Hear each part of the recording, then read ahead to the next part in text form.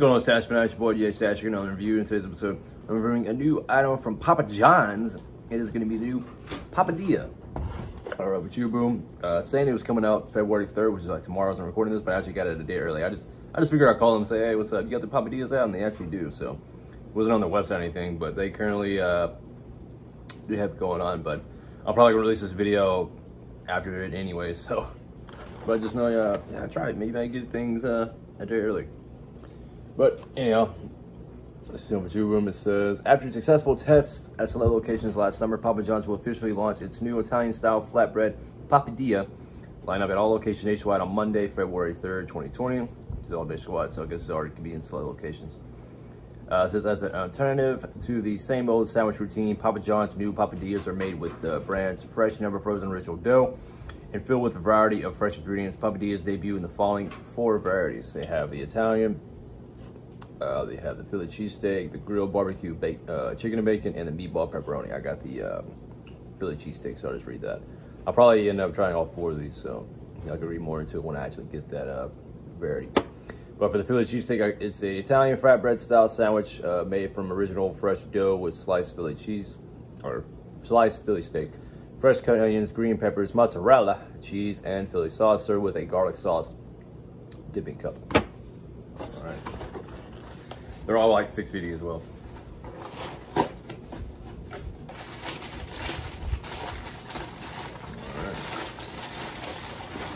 Yeah, they pretty much look like calzones. Split two things. Yeah, they're like calzones. Dude, let me have one. No, fuck off. What the hell? Go buy your own. I want it so bad. It looks so delicious. Oh, Papa John's, close at midnight. Dude, it looks so delicious. Come on. All right, I'll try me it uh, by itself and then I'll try it with this dip sauce. Damn. Let's see how it is.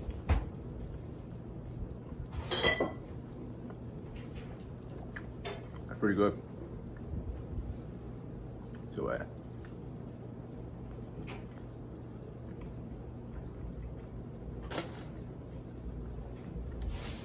it's not really a lot of cheese, but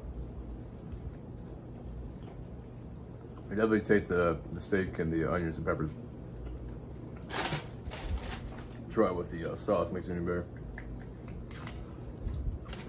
I do like their uh, garlic sauce. Oh, shut up. Yeah, way better. Mm. Yeah, other than the bread, I don't really have no complaints. I mean, it's not too dry, but it could be better. Uh, something about average, uh, I would give this a four out of five. That's about it. I'll definitely look forward to trying the other ones. So I believe they are here for a limited time, right? Yeah, they, should, they probably are. All right, guys. This is the new Papa John's uh, Papadia Philly cheesesteak. If you enjoyed this review, please like and subscribe. Be sure to check out my plugins down in the description down below.